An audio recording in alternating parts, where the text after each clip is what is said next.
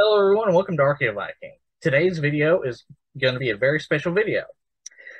The subject of this video is an in-depth history, at least as in-depth as I can get the subject to be within, you know, a two-hour or so time span. an in-depth history of the hunting, horticultural, agricultural, and land management practices in North America, both during pre-Columbian times and after the 1492 contact between the European colonizing nations and the indigenous peoples of North America.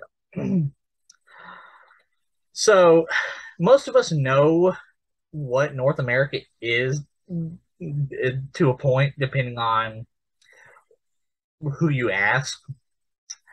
Uh, but for the purposes of this video, North America is going to consist of Mexico and the Maya, including the Maya homeland in Guatemala, Belize, and uh, southern Yucatan Peninsula, Mexico, the United States, Canada, and Greenland.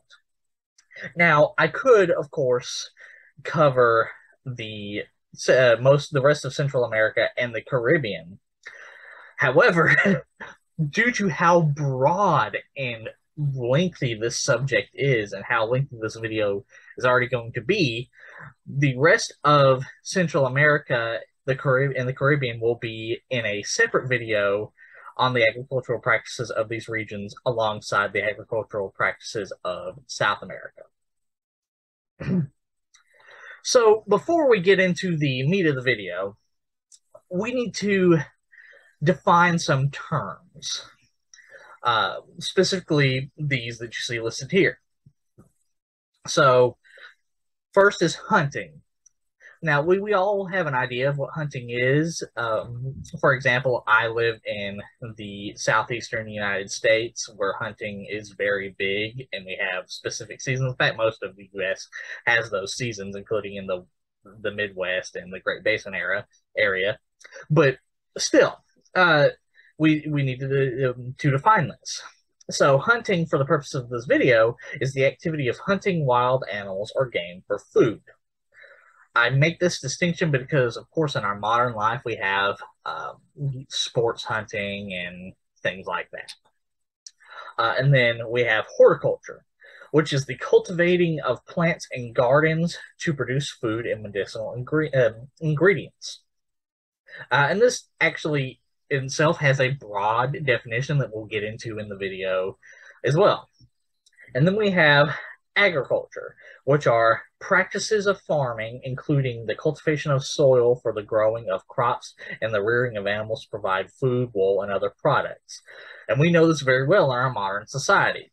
We have a lot of huge industrial farms growing corn uh, and beans, rice, etc as well as we have things like um, cattle farms and sheep farms as well.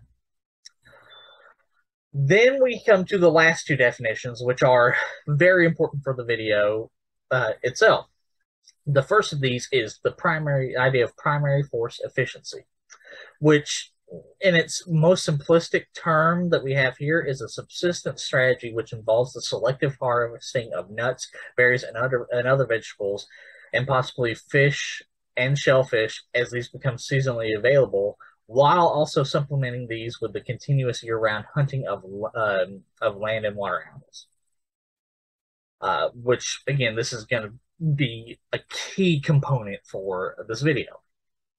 And then the other key component for the video is the idea of controlled burns. So controlled burns are a land management technique in which fire is intentionally applied to vegetation and monitored in order to reduce risk of wildfires, as well as to cultivate uh, excuse me, desired food sources in fire-resistant trees. Okay, so now that we've got all those terms defined out, those defined terms out of the way, we're going to go back to the beginning of human habitation uh, and settlement in the North American continent. Now, it should be clear that this date I have right here, 40,000 years ago, um, is is all is ever changing, and there are some debates, some sites that could be uh, older. In fact, there probably are sites that are older, but the oldest sites that we have um, discovered in the past couple of years actually date to around the, this time, about 40,000, give or take, years ago. Uh, and this time period is the, uh, it's called the Paleo-Indian period, but it could also be called the Paleolithic period, depending on how you want to look at it. Paleolithic being what is used for the Old World, um, of Asia and Europe and Africa and such, and Paleo-Indian used for North America, Central America, and South America. I tend to think that really separating these is kind of pointless because humans on uh, both in the uh, North America, Central America, and South America, and in Europe, Asia, and Africa went down very similar trajectories. So why distinguish them that much? It is it just I think it, it's personal preference. I, I, can see why some people might want to do it, but at the same time, I don't feel like it should be as dogmatic as it is. Anyways, so the for the longest time, the idea of humans entering North America, this sorry, the American continents, um, was first postulated to be the Bering Strait theory. It, essentially, an idea that uh, that the ancestors to Native Americans, First Nations peoples, came across a land bridge that had developed due to lowering sea levels, uh, as well as due to the receding of glacial plates, uh, allowed the the ancestors of the indigenous peoples of the Americas to come across from Asia into North America and eventually South America, roughly around twelve to thirteen thousand years ago. However, this is no longer the predominant theory for a lot of reasons that we'll talk about in a minute. Uh, because a huge host of evidence has shown that, well, yes, uh, the, many of the ancestors of the indigenous peoples of the Americas did come across the Bering Land Bridge. They were only like the last in a succession of you know, settling groups who came across a variety of ways. The most likely and common scenario is the idea of the Kelp Highway, where essentially the ancestors of the indigenous peoples of the Americas sailed along the coasts of North South uh, of North Central America and South America and settled as needed. Um, between uh, what we now know is around 37,000 years ago to even uh, as late as 16,000 years ago, uh, give or take. Uh, and of course, there are other ways as well, but this is the predom- this is the predominant idea of what they did, and also as well as theories that they went back and forth as well. So one might ask, being the subject of this video is hunting and agricultural practices, if these uh, ancient ancestors of the indigenous peoples of the Americas sailed across this coast, you know, this long coast of North America, Central America, and South America, what did they eat? You know, they, they had to get food somewhere. Well, it's it's very simple. In fact, the answer to the question is in the name, the Kelp Highway. Uh, and that's because seaweed and kelp are an abundant food source that is, has been used for thousands of years and is still used today. So, of course, uh, for example, sushi in Japan, uh, one of the key ingredients is often seaweed. Anyways, so of course, these and the ancestors to the indigenous peoples of the Americas used utilized this abundant food source. Now, it should be clear that the coast of the North American, Central American, and South American continents was a lot further out. In fact, probably up against this line, the, the blue line that you see here, due to the low sea levels. So it's hard to see the archaeological sites that are now probably you know several hundred, if not several thousand feet under the ocean. But we have other lines of evidence. We'll get to that in a minute. Uh, but also they utilized fish or probably utilized fish. I mean, we don't. Again, it's hard to determine the evidence based off of that, but it's I'd say it's about a ninety percent accurate assumption that they would use fish as food. But not only that, once they landed and put their settlements together, they would utilize animals that we recognize today due to our modern popular culture, thanks to things like Jurassic World and the movies Ice Age and things like that, uh, that we call megafauna, which include mammoths and mastodons. This is a mammoth, uh, which we can see uh, large amounts of evidence uh, from several mammoth kill sites, such as the one seen here in the Colorado Plateau, where our oldest uh, evidence of human settlement in the North American continent is found, uh, dated to around 37,000 years ago. Uh, which, to be clear, uh, while this is dated to 37,000 years ago, I made the human settlement of North America about 40,000 years ago because one would assume it would take a little while to get here. And while it probably took a lot quicker, I'm going, you know, splitting down the middle and assuming they were here longer along along the coast. Anyway, so in this site, we found we the archaeologists have found uh, pretty good evidence that humans uh, the, the ancient ancestors of the indigenous peoples of the Americas were here around at least 37,000 to 40,000 years ago. Uh, because they found a, what I just alluded to, a mammoth kill site, where, as you can see here, the bones of a mammoth uh, were found with a lot of butcher marks, uh, such as uh, bone flakes being missing in these lines, uh, and a variety of other things. Uh, further evidence that humans were here, other than the fairly clear butcher marks, like you see here, uh, cut marks here, as well as marks um, from, see, what does D say here? Yeah, such as rib fragments being broken in specific ways, uh, as well as um, bone flakes being broken off, uh, we find the tools that they use to butcher these mammoths, or at least some of the tools we, that they use. And that is microflakes that you see right here, uh, or a chert microflake.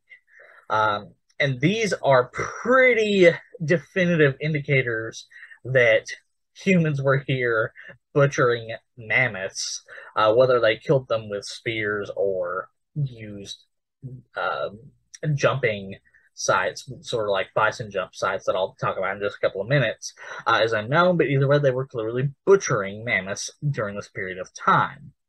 Uh, and as you can see, you can see the cutting edge of the chert flake right here, uh, and as well as right here. And there's a the um, striking platform and the bubble uh, percussion.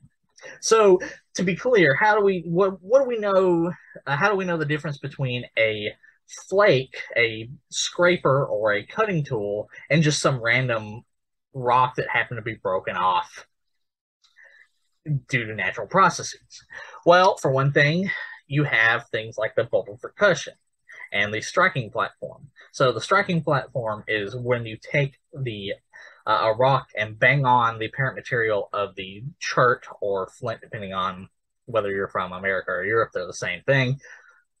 Uh, and it's a good indicator that this was not natural, though it's not always clear because it could still be natural, but pretty good indicator that it's not natural based off of the striking platform, which is this often oval or triangular, uh, sometimes rectangular flat surface that shows that somebody was repeatedly banging on a specific area to get off flakes, uh, as well as the bulb percussion, which is a is exactly what it's called a bulb on the back that shows uh, the impact force that removed it. And then we also have little flake scars and retouch showing that uh, around these edges, um, showing that it was used to, it was sharpened in order to be used for cutting, which is not something that natural processes really do.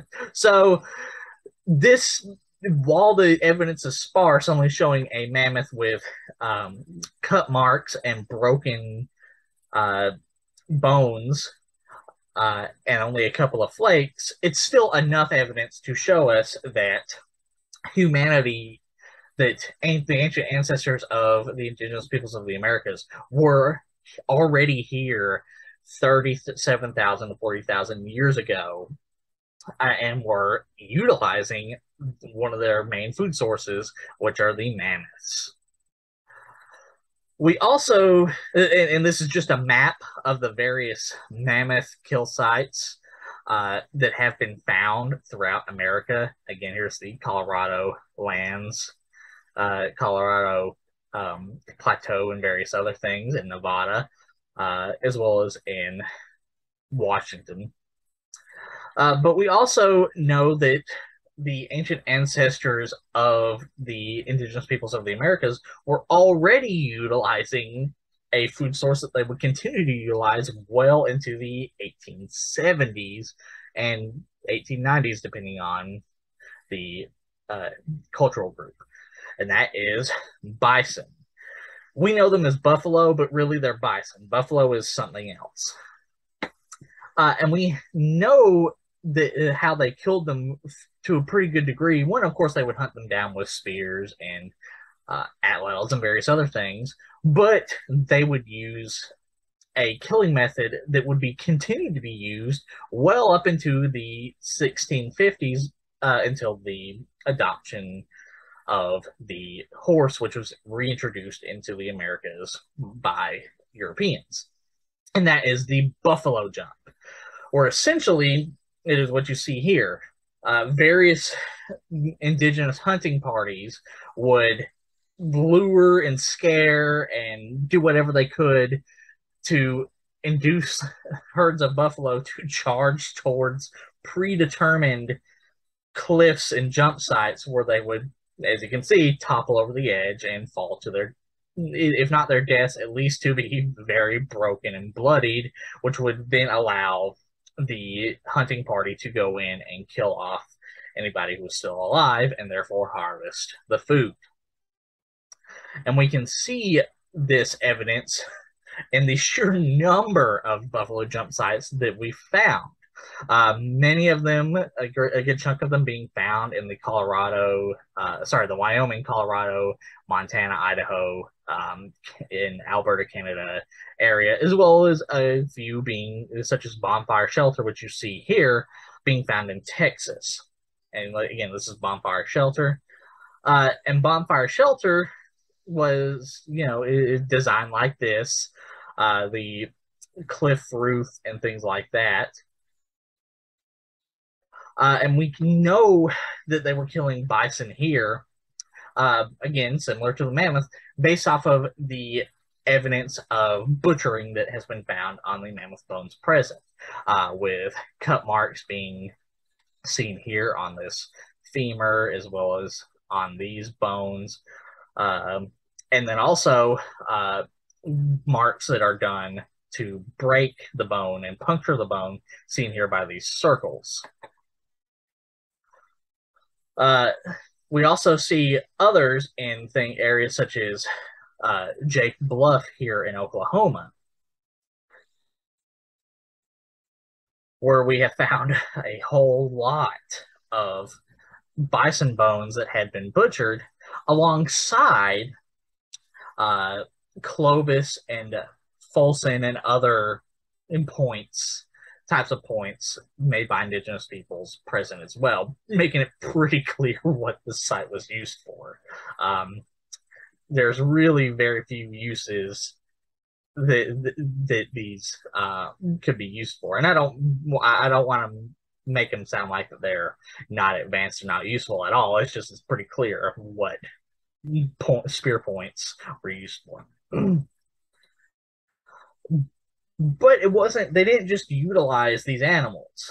Um, as you can see in this image, North America had a diverse set of fauna when the indigenous, eh, sorry, the ancestors of the indigenous peoples of the Americas arrived. Uh, they had horses. Yes, horses were here before the Europeans reintroduced the horse. Um, they had died out, uh, died out, and I'll get to that in a minute. Uh, ground sloths, of course, uh, saber-toothed cats, as well as cave lions, uh, American lions, which were actually bigger than African lions, uh, dire wolves, timber wolves, and a variety of other things. But the possibly the most important animal that was utilized by the ancestors of the indigenous peoples of the Americas were dogs. That's right, they brought dogs with them. We know they uh, pretty good uh, have a pretty good idea where that of uh, the kinds of dogs that they brought, as well as how many. In fact, we know that they came again from the Alaska, Russia area, probably around the Kelp Highway, and the later ones coming through uh, the Bering Strait pass. Uh, in fact, these dogs would go on to, uh, how to put this, they would go on to be, uh, inter- interbreed with each other and be the progenitors of a large number of pre-Columbian dog breeds um, which many, some of which are here today, some of which are no longer here. Um, two ones that are still here uh, can be seen in the Carolina dog and, of course, the Chihuahua. These little devils that were uh, that were domesticated and bred in Mexico and Mesoamerica. And I want on that note, I want to make clear to uh, any uh, of the indigenous peoples of Mesoamerica I'm not just hating on the Chihuahua. I'm also hating on European dogs of similar size, like the Pomeranian, that have similar temperaments. I'm sorry, for whatever reason, small dogs across the board, regardless of what continent, are little jackasses. So, so then I'm going to leave it at that.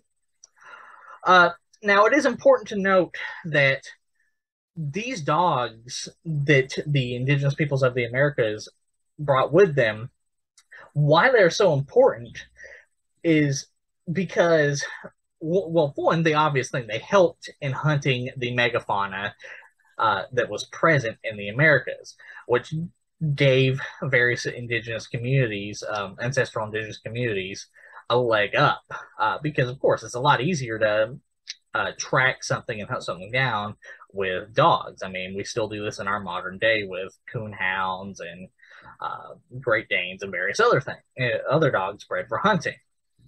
But another thing that was an important factor, uh, and uh, obviously an unknown factor to the indigenous peoples of the Americas at the time, because germ theory was not a thing, uh, was that these dogs uh, probably carried some diseases that hurt the megafauna present in North America. Probably not to the same degree of, say, when the Europeans came in and in the 1492 onwards and brought their things like smallpox and such, but it was probably still a significant factor into why the megafauna died out, as well as the fact that humans hunted these things as well as dogs. Um, which brings me into uh, the the last part of the section: what happened to the megafauna? Well for one thing, for the longest time, the idea there was an idea that the ancestors of the indigenous peoples of the Americas, uh, when they came into the Americas, they just were insatiable killers of the megafauna and they hunted them into extinction. Which honestly is a little bit too simplistic and it probably is not what the case is. Uh, for one thing, yes, hunting probably did play a certain degree. Again, the dogs, hunting, the use of dogs and hunting, as well as um, things like bison jump sites uh, and such, did kill off large amounts of megafauna at a time. But at the same time, again, these were continued well into the 1650s CE with bison and the bison were never hunted to extinction by those hunting techniques, and dogs were used in hunting them as well. So that doesn't really make sense. Uh, and then, of course, as I mentioned a couple of minutes ago, there was also the disease factor. I mean, we know the disease probably from dogs and probably even humans a little bit uh, may have played a little bit of a factor in the extinction of the megafauna. But the biggest effect was most likely an event known as the Younger Dryas event, or essentially, as this graph shows, uh, before the Younger Dryas event, uh, the North American continent was a lot cooler uh, by at least a 5% to even uh, 25, sorry, even 15% difference. And so, what this means when the Younger Dryas event happened, which was a, a rise in temperature uh, and decrease in ice and the receding of glaciers, uh, means that the animals, the megafauna that have been adapted to this colder environment, the mastodons, the woolly mammoths, the uh, North American lions, etc., etc., were no longer uh, evolutionarily adapted, evolutionarily fit for survival in this environment. Uh, so many of them began to die out because food began to become scarcer, whether it be the grass and other plant food uh, that allowed the large megafauna like mammoths to survive. And then, of course, by proxy, the as the mammoths began to die out, um, it began to become less food for the large predators like the saber-toothed cats and the North American lions. So there you have it. That's what, uh, what happened to most of the megafauna. Of course, the bison and things like the moose and such, uh, and even bears still existed, uh, still exist now uh, and continue to exist. But this is what happened to the great majority of the megafauna that was present in North America, uh, as well as the megafauna that was present in a lot of Asia and Europe as well. So, now we move on to our next section, which is Mesoamerica and the origin of agriculture in North America. So, Mesoamerica for uh, is essentially uh, usually just defined as uh, Mexico, uh, whether it be northern Mexico, uh, the Gulf Coast of Mexico, or the Yucatan Peninsula, uh, Guatemala, Belize, El Salvador, and Honduras though of course this is a lot sometimes a lot more fluid as sometimes the american southwest is included in that as well but for the purposes of this video we're going to use this definition of mesoamerica. So mesoamerica saw the rise of a large um, a large array of very advanced and very sophisticated civilizations. Uh, you had the olmec here uh, in the orange um, of course, he had uh, other high Mesoamerican cultures like Teotihuacan, um, which popped up around here, uh, the Maya, and then, of course, eventually the Aztec, more properly known as the Triple Alliance, because it was actually three different city states who allied together. Uh, and of course, like this is going to be a common thread throughout most, uh, throughout the whole video.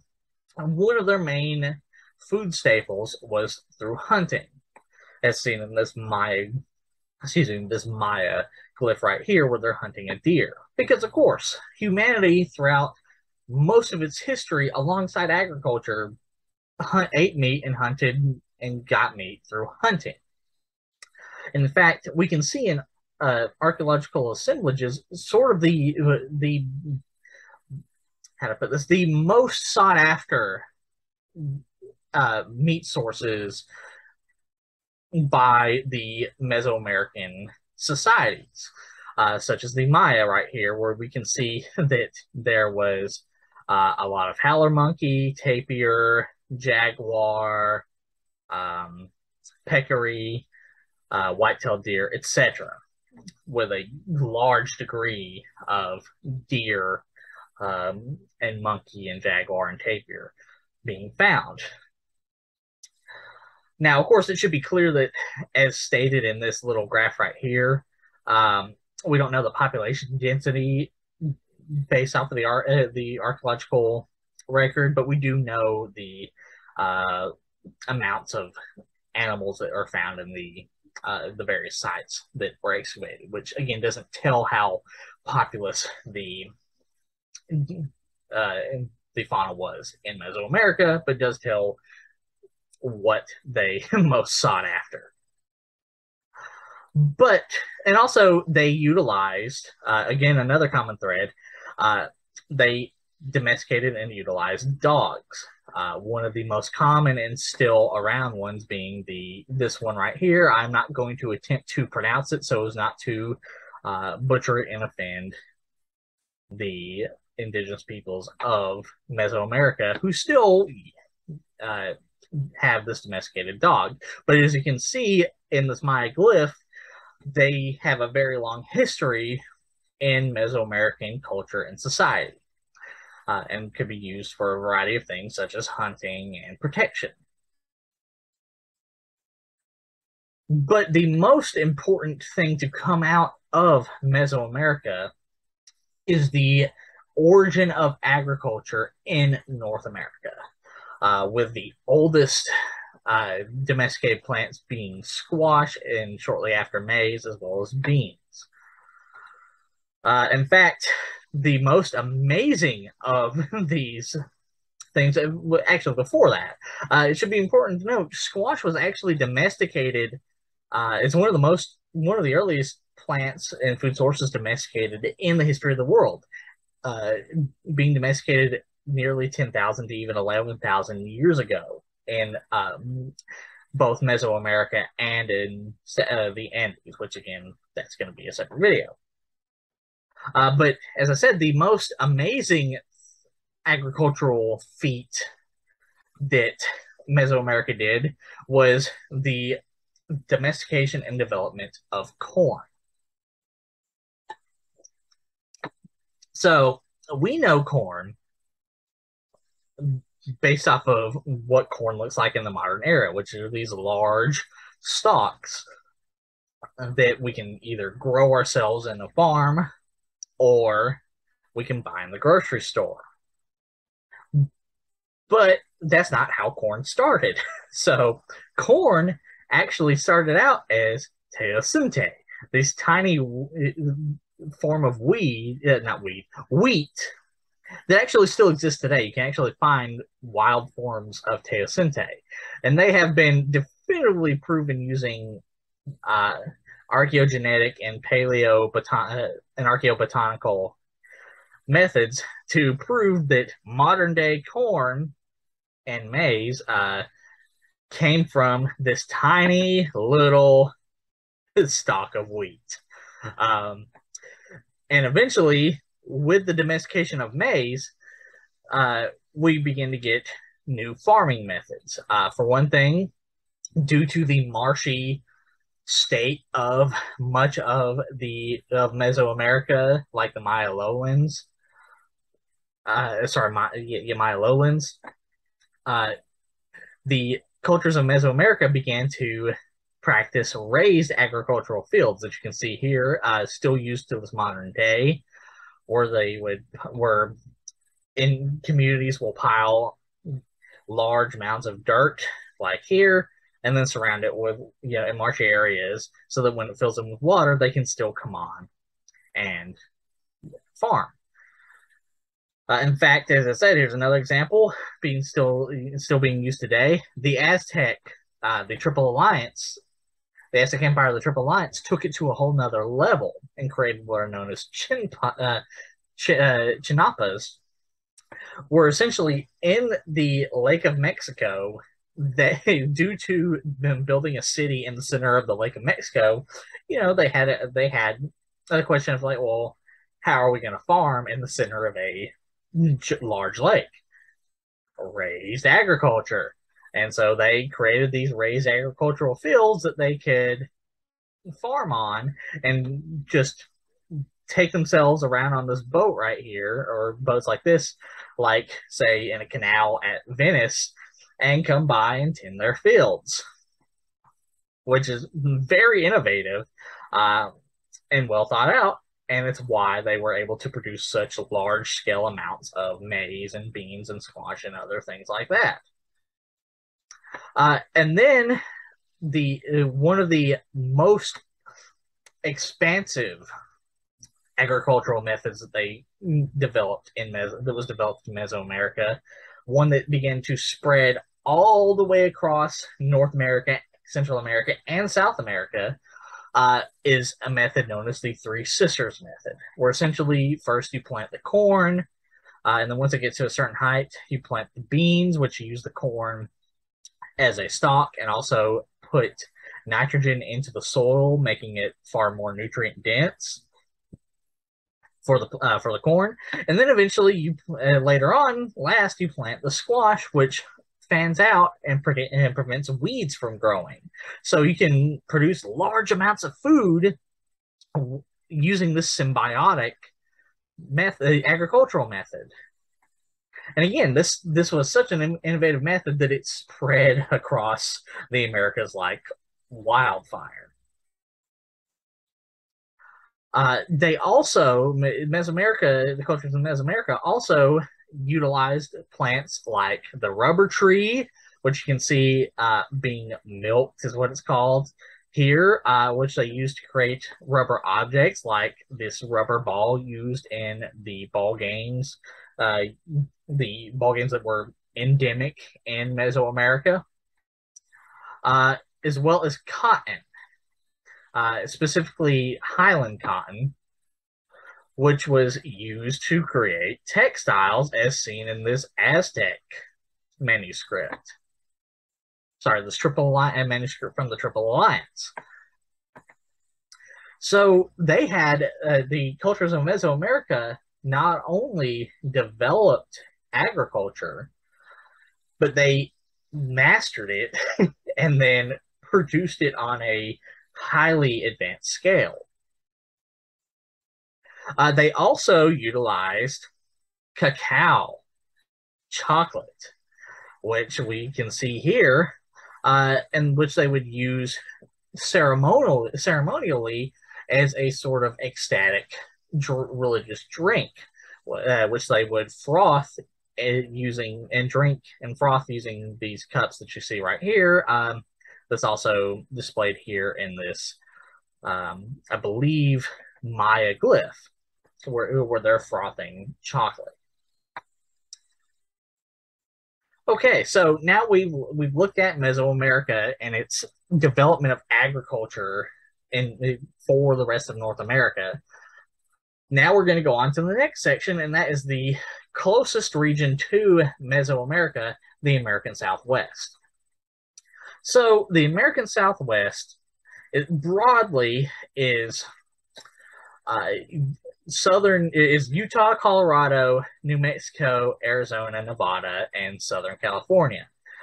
Um, usually southern Nevada, Utah, and Colorado, and then all of New Mexico and Arizona and Southern California.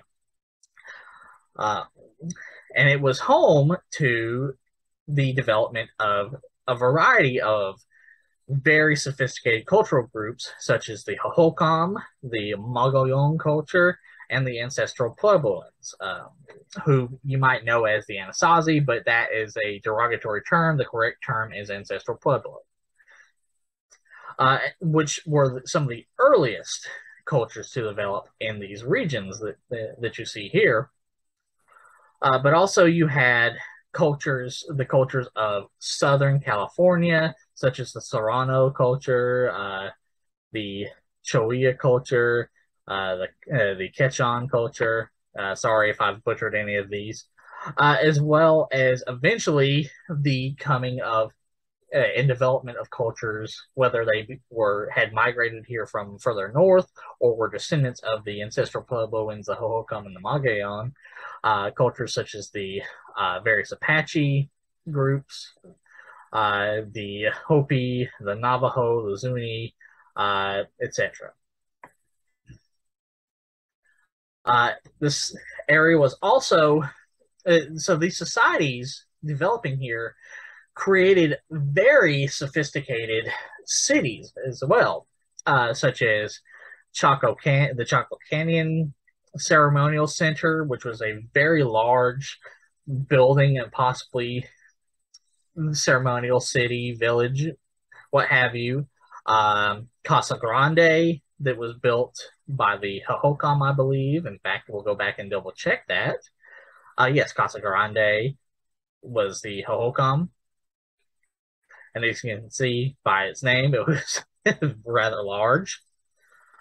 Uh, and these societies who built these large cities like Chaco Canyon and uh, and Casa Grande subsisted on a variety of food methods. Uh, one hunting, they hunted rabbits, uh, deer, and turkey, um, which we can see here. In fact, the hunting may have actually been divided by class. So, is what you can see here are two graphs. You see this graph here, uh, where the, uh, it's basing percentages of artiodactyl animals. Um, essentially, artiodactyl animals are deer uh, or other hooved animals uh, that have, sorry, other even hooved animals, uh, hooved animals that have a single hoof, like horses uh, and mules and burros and things like that, are equids. Uh, but artiodactyl uh, animal bones, most likely deer, and then a percentage of turkey bones. And you can see uh, turkey, for the most part, uh, made up the majority of the animal percentages, uh, specifically during Pueblo, the Pueblo 3 uh, period, with the exception of deer right here, uh, being seen right here, where uh, in the Pueblo 3 period, with the exception of this one little area here, for the most part, there were uh, not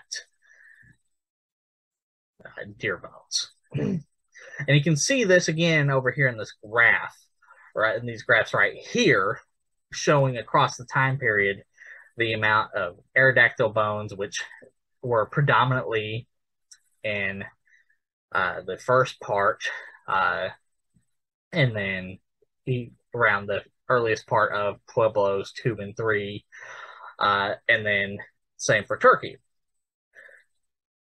And then we can see the also the percentages of turkey bones based off of region, where you can see the majority of turkey bones were found in region one and region three, uh, with the decent amount being found in uh, regions four, five, and six.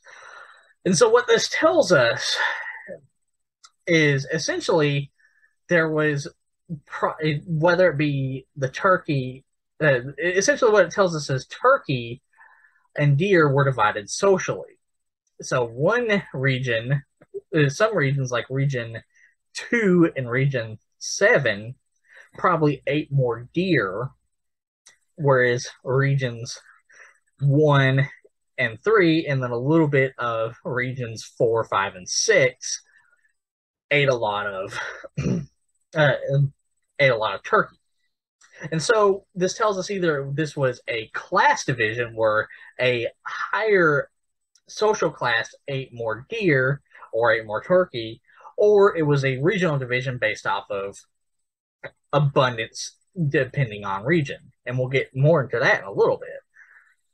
Uh, so again, we'll go back and you can see just the index values of uh, how much deer was consumed, how much turkey was consumed uh, during this time periods, and how much deer was consumed. And across the board, with the exception of during the basket uh, maker two and Pueblo one period, turkey was consumed more, and specifically in more specific regions we again uh, another common thread we know also know that dogs were domesticated in the southwest as well as you as been has been found in um, ceremonial burial context of specific dog breeds and the presence of dog art, like these little clay figurines. And eventually, after contact with Europeans, there some tribes, like the Navajo, would domesticate sheep. As seen like here, as seen right here, which they could produce, um, used to produce a large amounts of food on hand, as well as wool. And then, of course, eventually the various tribes like the Navajo and the Apache would adopt the horse as well, which would help them both in warfare and hunting. Not all tribes. Um, many of the uh, Puebloan uh, communities were very clearly based off of archaeology and ethnography and the historical records people who generally did not use horses. They were um, people who walked. Uh, but we do know that many tribes did eventually adopt horses and domesticate horses for their use as well. Now that we've gone uh, gotten the domesticated animals uh, as well as the types of animals that were hunted out of the way, used by southwestern cultures out of the way, we now need to ask. Uh, many of you are probably even asking, well, Dane, you know, the Southwest, the American Southwest is, for the most part, an arid desert. What could they have grown at all? Like, how could they have done agriculture in the American Southwest at all? Well, the uh, to answer the question, they did this by using plants that were adapted to the desert um, environment itself. One of the earliest of these domesticated plants that they used was agave. And as you can see here, agave that can be used for a variety of food and medicinal pur- purposes. And in fact, is one of the key ingredients to a favorite of a lot of uh, people in the modern world, tequila. So the cultures of the American Southwest, seeing the hardiness and the nutritional benefits of agave, cultivated this plant en masse. We also know that eventually, after the domestication and the development of the Three Sisters method in Mesoamerica, that eventually the cultures of the American Southwest, the Pueblo cultures, the Mogollon, the Hohokam, and eventually the various uh, other tribes like the Apache and uh, sorry, not the Apache, like the um, Navajo and other tribes, uh, the cultures of the American Southwest began to use beans, squash, specifically um, summer squash and winter, uh, or yeah, yeah, winter squash, and corn, maize. Uh, and now we, you know, knowing what plants they used, we have to also ask, uh, or you're all probably asking, well, uh, that still doesn't answer the question. Yeah, you can say they used plants that were suited for the desert environment, but beans and squash and corn aren't necessarily suited for the desert environment like agave is. And even then, that doesn't tell us how they watered them, how they were able to produce food in large enough quantities to have any given population at all. Well, the how they did this was by irrigation, uh, by creating canals. In fact, the Hohokam were particularly skilled at this. Uh, in fact, this picture you're looking at is a Hohokam irrigation canal. Uh, irrigation canal. Uh, and in fact, here's a map here of the various Hohokam irrigation irrigation systems, and you can see uh, there's you know for scale showing what they are. Uh, just for even this one little region alone, uh, they're pretty extensive.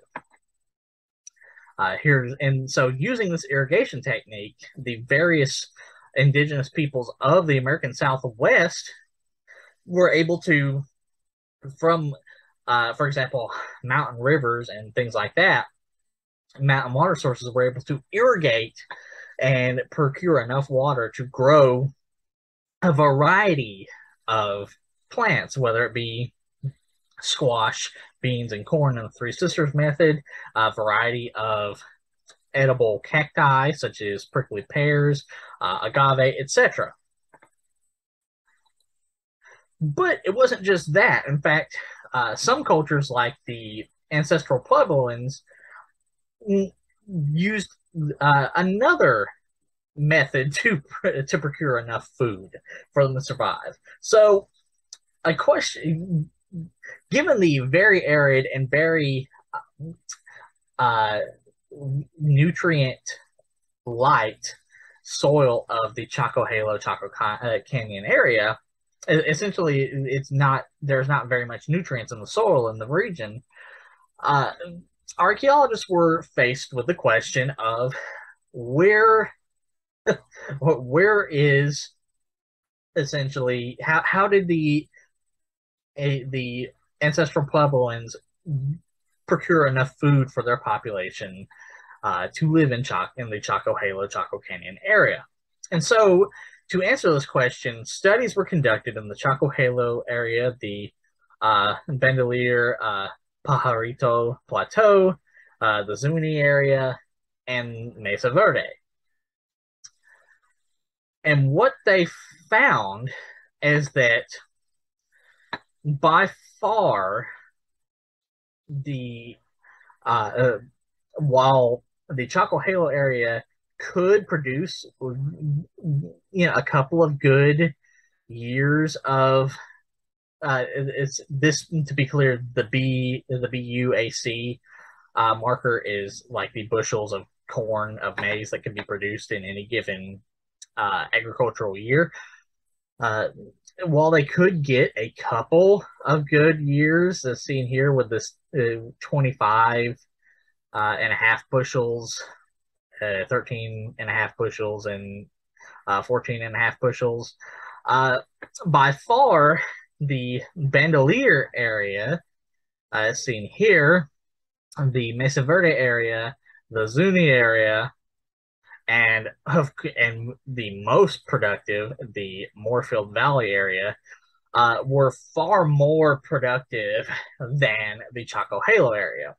So this told archaeologists that the uh, that the inhabitants of the Chaco Halo Chaco Canyon area were able to mobilize various other communities in the Bandelier, Mesa Verde, Zuni, and Moorfield Valley, and Moorfield Valley area to produce food for them. And so they, whether it be uh, through the inhabitants of the Chaco Halo area being the elite, the uh, sort of aristocratic class, if you if we could if you want to define it that way, of the area, or be through just simply trade.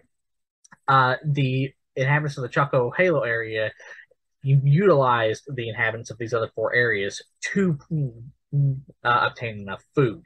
Um, and in fact, it, this means that most of the maize found in archaeological time, contexts in the Chaco Halo area probably came from one of these four areas. Uh, again, based off of the um, nutritional data, uh, probably from the Moorfield Valley area, um, or even from the closer Bandelier, Mesa Verde, and Zuni areas. The cultures of the American Southwest also used another very interesting and very important and often overlooked method to cultivate food. And that was the idea of controlled burning. So, as I stated in the beginning of the video, uh, with the defining terms, controlled burning is essentially starting a forest fire and monitoring it uh, in order to cultivate food as well as to uh, prevent later forest fires from happening by removing underbrush and other forms of kindling. An example of this, a modern example of this can be seen here with the forest right here being very dense with underbrush, uh, and then looking like this.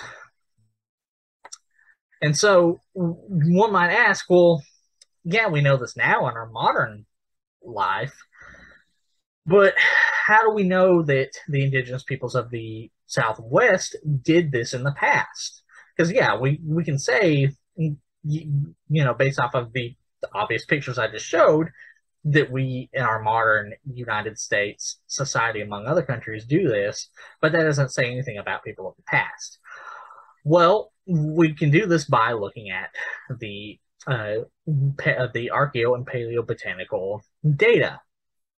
So, by looking at the archaeo and paleobotanical data, like you see here, we can see that in the past, uh, through we can see in the past that uh, that a lot of fire, uh, low fire tolerance or non-fire tolerant plants uh, were not present or were burnt down, while uh, high, uh, while high uh, drought tolerant and high fire tolerant plants were endemic. In fact, this shows sort of the plants that were uh, being burnt and destroyed.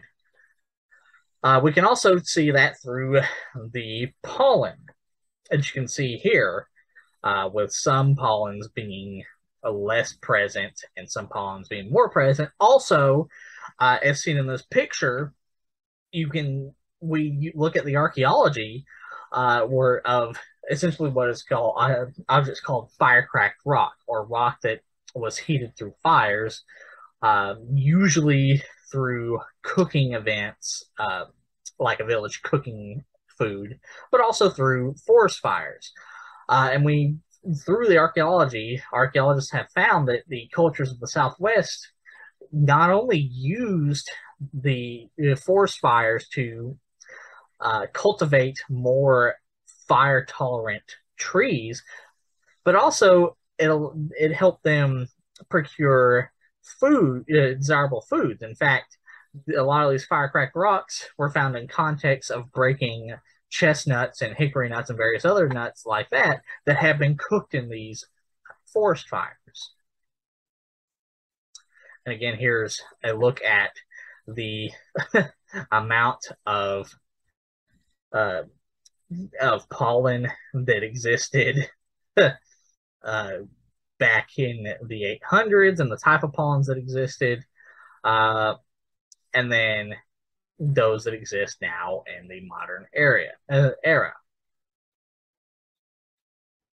Uh, and in fact, another important thing that has been determined based off of this um, archaeological, archaeobotanical, and paleobotanical data uh, shows that human influenced vegetation uh, through fire actually has a, led to areas being cooler and wetter.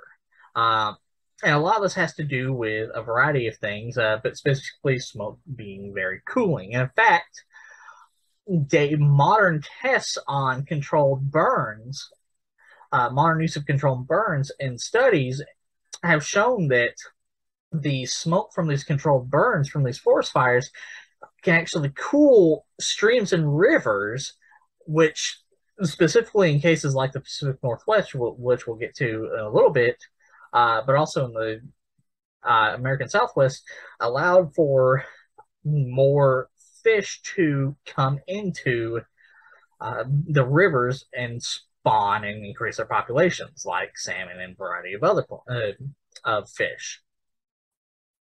Okay, so with the American Southwest out of the way, now we turn to the Pacific Northwest. So the Pacific Northwest, for the purposes of this video, because uh, sometimes it's a little more fluid, uh, includes Central and Northern California and uh, excuse me, uh, and Washington, Oregon, uh, British Columbia, uh, and southern Alaska and a huge chunk of the Northwest Territory of uh, Canada. And as you can see, based off these maps, this these were very, very culturally diverse regions during this time. Like I could not even begin to get into the uh, to every single one of the cultural groups who was who were present in this region. Uh, but of course, but you know, just to give like a brief overview, you had people like the uh, the Shasta and the Modoc, and then you had the Tlingit uh, and the Haida, uh, the Chinook, etc. Uh, and one of the most common, uh, most commonly utilized food sources of the peoples of the Pacific Northwest was uh, cetaceans like whales and dolphins. In fact, as seen in this picture, uh, cultures like the Haida, which is this is a Haida uh, whaling canoe, would go out and use harpoons and a variety of other things to hunt whale. They would also utilize the uh, fish in rivers uh, like salmon, as you can see here. In fact, right here is a fishing net, a fishing weir that was used by a variety of cultures in the Pacific Northwest. Uh, in fact, to this day, cultures like the Tlingit, the yeah Tlingit, uh, still rely heavily on fishing economies, like seen here from this picture of a Tlingit fishing rig uh, in 1905. But it wasn't just fish. Uh, the cultures of the Pacific Northwest also hunted. They hunted uh, whether it be regular deer or caribou, reindeer, uh, depending on how far north or south they were, uh, seen in this picture. But they also utilized the natural resources of the environment and collected a variety of nuts and berries, like as seen in this uh, 1920s, 1915 picture of a hickory, a hickory or walnut, I forget exactly which one, but a uh, storage container for used for storing nuts that they harvested during a the season that nuts were most abundant. But it wasn't just that. Uh, like the Mesoamerica and the American Southwest, the cultures of the Pacific Northwest also domesticated dogs. In fact, some cultures uh, uh, domesticated dogs and use them for wool, which you can see here. This is called a wool dog. Um, it's no longer in existence. Uh, it, I, I, believe it's died out. If anyone from the tri- various tribes who used the wool dogs uh, still has them and they uh, and wants to correct me on them being still in existence, please feel free. I think it would be cool if they were still in existence, but from my understanding, they are now extinct but it's still very fascinating and interesting how while uh, despite the absence of llamas and alpacas and you know that are endemic in the Andes and the absence of sheep and other wool uh, bringing uh, wool growing animals that are in uh, Europe, Asia, and Africa, the the indigenous peoples of the Pacific Northwest still developed a wool culture of their own, which I shouldn't be surprised at at all because, as I've stated many times in other videos, the indigenous peoples of the Americas were in no way less advanced or very or only very slightly less advanced than the Europe, cultures of Europe and Asia. And again, I tend to lean on they were not less advanced at all. And this is a prime example of that. But it wasn't just that. They also developed very interesting horticultural agricultural methods. And one of these was the the development of uh, controlled gardens.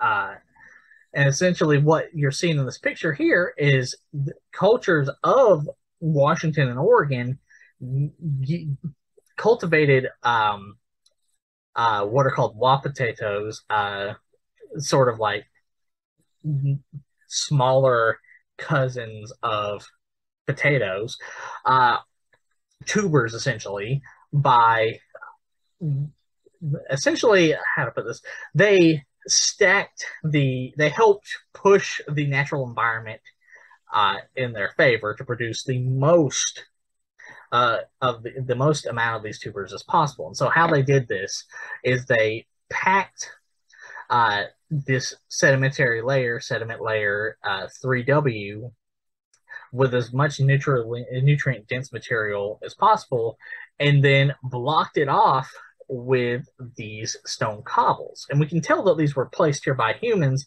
by their uniformity, like how uniform and thought out their placement was. And so essentially, what this has shown is that by placing a whole lot of charcoal and other nutrient rich fertilizer in sediment layer three and then covering it with these stone cobbles, they could produce, as stated in this graph, the highest density of uh, Wapato tubers that that they could, meaning they could have a lot more food to feed their communities as opposed as opposed to the amount of tubers that were being grown in say sedimentary layer two or um, the lower deposits. In fact, of course, the lowest deposit was sterile, and they would dig these tubers, these Wapato tubers, up using these wooden stakes like this that we can see here. That of course we have via archaeology, as well as this via archaeology. In fact, we've uh, we have modern day examples of the Wapato tubers that we can compare to the ones we found in the archaeology. Now we move on to the next thing, and the, the next method used in the Pacific Northwest, which, you know, as I've stated with the Pacific, with the American Southwest, uh, this is a very common thread, horticultural technique used throughout America, and it will be a common thread you see through all categories the use of controlled fires. So, well, again, we, we have to ask, well, how do we know they use controlled fires? And why? Well, for one thing, we can look at the again the archeo uh, the archaeological, archaeobotanical, and paleobotanical data and see that uh, based off of the archaeological record, the historical regions right here, the historical region, this is one region uh, looking at various different lines of evidence and data. Uh, one had very much more diverse structures, uh, much more diverse uh, flora structures, like um, you know, uh, a lot of forest, a lot of grassland, a lot of shrubland, etc. Uh, the fuel loading was a lot more diverse. The uh, fire potential was more diverse, and the flame length was much. It was far different. In fact, based off of the historical data, we can tell that the fire intensity of this region when when natural forest fires versus forest fires that were conducted by the indigenous peoples of the Pacific Northwest uh, were between uh, had many much more low intensity to moderate intensity forest fires, while the modern day fi- uh, flame intensity and fire potential uh, one the fire potential uh, is much more severe as you can see here, in the modern era. And pretty much across the board, the fire potential of the same region in the current era is from very high, it's from it's from high to severe, uh, and a little moderate mixed in, meaning that we have far more powerful and far more frequent and far more severe this yeah far more severe, far more frequent uh, uh, forest fires in this one region alone in compare in the modern day in comparison to when the region was being periodically uh, controlled through controlled burns. And we can again look we look at the archeo the paleobotanical and archaeobotanical evidence where we can see uh, things like let's see here, let's see here.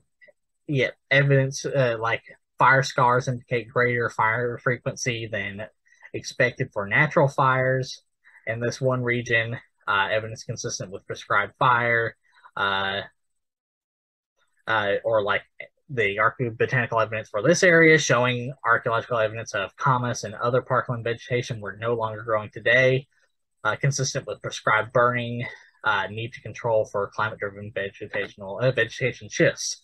So, what that so, so what that little line is saying is while it, uh, while there does need to be control to determine whether or not this is uh, climate-driven uh, and not human-driven, there's a high level of certainty that this uh, presence of this more fire resistant uh, uh, camas and other parkland vegetation across the board uh, was present due to the pretty consistent use of controlled burns by the indigenous peoples of the Pacific Northwest.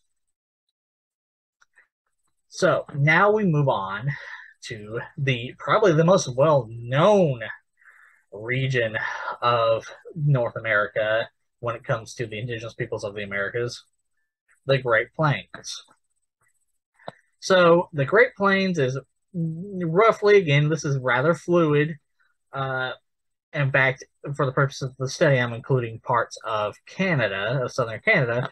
Uh, is a geographic region of North America that extends from the eastern parts of Montana, Wyoming, Colorado, Arizona, uh, most of Texas, most of northern Texas, uh, Nebraska, etc., as well as northern Canada is, and parts of northern Mexico.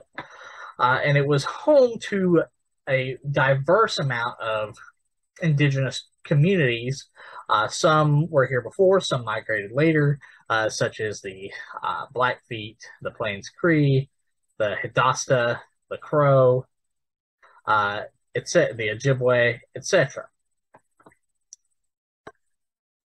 Uh, and of course, predominantly the communities who lived on the Great Plains lived in uh, housing units known as teepees, which were very ingenious, ingen- were, were created with a great deal of ingenuity behind them because they're easy to construct and take down. They were sturdy in storms and a variety of other things because, of course, the Great Plains are the tornado belt of the United States.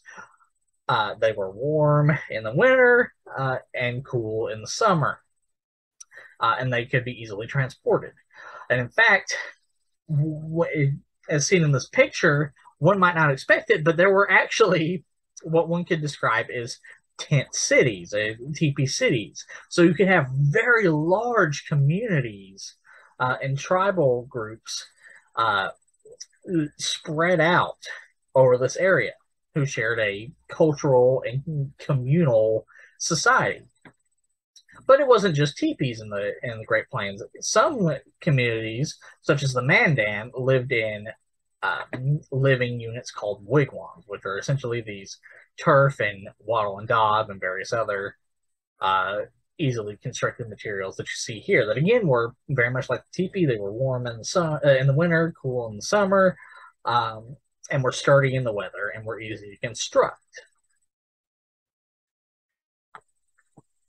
And of course, one of the animals that, as I've said in the last three sections, one of the animals that they cultivated and um, adopted and domesticated were dogs, which they used, uh, as seen here, to pull objects like travois or these.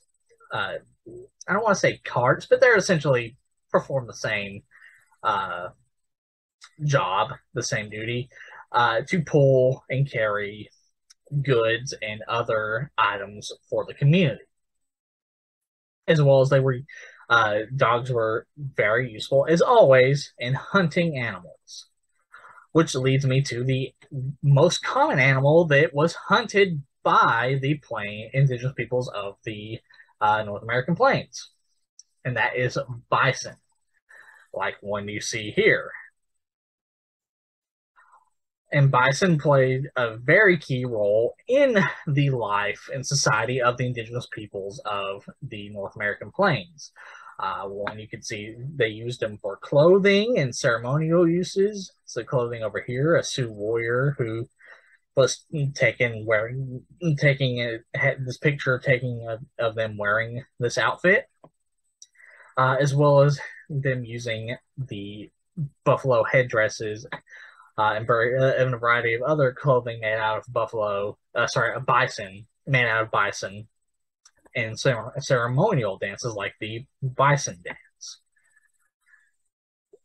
And of course, you know, here's a good example of the clothing they used. Uh, they would stretch it out for clothing, but also they would stretch it out and use it for record keeping and for artwork, as seen in this buckskin, that's uh, our buckskin bison hide that you see here depicting horses riding, you know, uh, wild horses riding.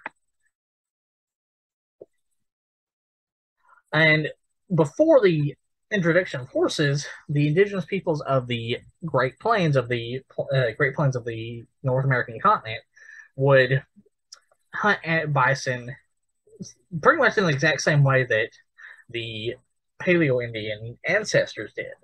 So they would sneak up on them, either dressed as wolves or dogs. Also, would have dogs with them. Uh, one either would you know take down one or two or you know rather than a whole herd or they would spook them and send them to buffalo jump sites like seen in this one here which is a buffalo jump site from uh, i believe wyoming uh, that was used by the blackfoot tribe where you can see they would uh, scare the bison to the gathering basin uh, and be, then be driven down uh, a would be the where they could scare them to the gathering basin. B would be where they would uh, drive them uh, the driving lanes. Uh, C being the precipice where they would fall over. D would be where they would collect the bones and the food, the bone bed, and E is where they would have their camp. So making it easy for them to come up and dispatch any of the bison that were still alive but very very badly hurt, uh, as well as to collect the ones who were actually dead. And as we can see here in this map, just in Montana and Alberta, Canada, and, and Saskatchewan, etc., alone in Idaho, there's a lot of bison jumps, which makes sense because this would be one of the easiest ways to get a large amount of food for these large living communities that were present. But eventually, this would change with the introduction of horses, uh, and bison jump sites would eventually be, for the most part, uh, at least to my understanding, I could be wrong. Please, anybody from these cultures, uh, feel free to correct me. Would uh, begin to abandon the bison jumps uh, for the use of horses and hunting them because it was far easier at that point to ride horses through and hunt them like this. And of course, on that note, eventually the various indigenous peoples of the North American Great Plains, with the introduction of horses, would domesticate horses of their own, uh, such as the uh, uh, such as this Crow individual here and the Sioux individual here, and would essentially use become horse cultures and would develop large herds of horses of their own. Uh, and of course, would use horses to carry their travois carts um, that dogs had previously filled in the role for. But what one might not expect is it wasn't just bison or and also deer. I should also mention that deer was hunted as well. Uh, but it wasn't just meat uh, fauna. It wasn't just faunal food goods that were utilized by the cultures of the North American Great Plains, but also agriculture uh, was practiced on the uh, Great Plains as well, uh, such as the harvest of corn, where you can see this in this picture, of this traditional corn drying rack of sorts that was used by the indigenous peoples of the North American Great Plains. Uh, and in fact, as you can see here, the archaeobotanical and uh, the archaeological and archaeobotanical record show can show us the uh, types of uh, plants that were cultivated, uh, with corn being cultivated in great amounts, uh, specifically in the eastern plains and the western plains. Uh, uh, also, squash to a certain degree, sunflower seeds to a certain degree, marsh elder, drop seed, little barley, etc. Uh, meaning, so showing that they actually had a diverse, the indigenous peoples of the North American Great Plains, despite common belief that, like you say, see in Hollywood, they actually had a very diverse uh, diet. They had a very, very diverse diet compared to what one might expect. Uh, in fact, here's here's the graph continued showing how much corn was domesticated, um, as well as some uh, tobacco, beans, squash, sunflower, etc. In fact, we know from archaeology that the domestication of corn and beans and those various other agricultural goods went as far up as the uh, boreal forest and the taiga in the subarctic region of the North American Great Plains. Because again, the Great Plains actually extend a lot farther north than just the American Canadian border. Now we move on to, again, the common thread. Uh, the tribes of the, the indigenous peoples of the Great Plains, like the other three, yeah, the other, uh, like the other three sections, utilized controlled burns to their benefit, uh, as seen by this burn of the prairie right here. Uh, in fact, what we see here is the we can actually tell in our based off the archaeology and archaeobotanical data the time periods in which this use of controlled burns uh, in which these controlled burns were utilized. And you can see that they start roughly around 1050 CE um, and are used to some degree here in the 1150s, but they really begin to take off. The use of them really begins to take off in the 1200s uh, CEs through the 1650s CEs. And here's a similar graph right here uh, with uh, these charcoal deposits right here. And these are the ones that are directly dated and you can again see the amount that they are, and they still correlate with. Sorry, not correlate. They still match up pretty perfectly with the time period of like the roughly the 13th century CE to the 16th uh, to the 17th century CE or AD, depending on how you want to measure it. And so, one might ask, well, why did they use these controlled fires? Did they use them in a similar way to the you know, cultures of the American Southwest and the Pacific Northwest uh, to control the frequency of intense forest fires as well as to cultivate food? Or was it from for a different reason? Well, it's the latter uh, what they used these controlled fires for. Now, I should be clear. I'm sure they used it to a certain degree to com- uh, to help uh, cultivate the fertility, the uh, how nutrient dense the soil is for their crops, like corn and beans and tobacco and things like that. But by far, the use of controlled fires by the indigenous peoples of the North American Great Plains matches up almost perfectly with pedestrian bison hunting, i.e., hunting bison by feet uh, by foot.